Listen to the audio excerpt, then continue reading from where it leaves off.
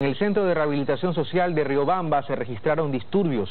Unidades de élite de la policía y militares llegaron hasta las afueras del Centro de Privación de Libertad y fueron recibidos con piedras y la detonación de siete explosivos. Los agentes penitenciarios que lograron salir confirmaron que siete de sus compañeros están en calidad de secuestrados. Los internos solicitaron que no ingrese la fuerza pública a este centro. Aquí se encuentra detenido Colón Pico.